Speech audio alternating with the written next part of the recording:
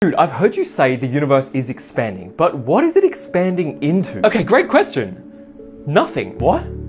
That's it? Well, yeah, I mean, the universe is by definition everything there is. So if it were expanding into something else, then that would just be a part of the universe too. I mean, I guess, but that still doesn't answer my question. You say that the universe is expanding, you know, getting bigger all the time. But where does all of this new space even come from? All right, think of it like this. The fabric of space-time itself is growing all the time, getting bigger and bigger, and this causes objects to be pulled further and further apart. And we know this because the further away we look, the quicker galaxies are moving away from us. Okay, that makes sense. But if it were expanding, surely it would have an edge, right? Like, could we take a spaceship and fly it to that edge and look out into nothingness? We aren't 100% sure, but as far as we can tell, the universe does seem to be geometrically flat and infinite.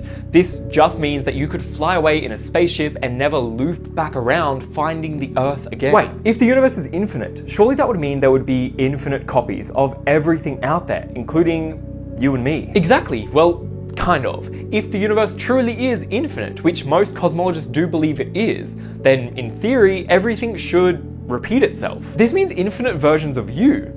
Maybe out there somewhere there's a version where you're seven foot tall, or maybe you're the next Einstein. This is the core of the paradox of an infinite universe, because everything we see here on Earth is made of a finite number of things arranged in a finite number of ways. So given infinite time and space, things will repeat. Okay, I think I need a nap. Good idea.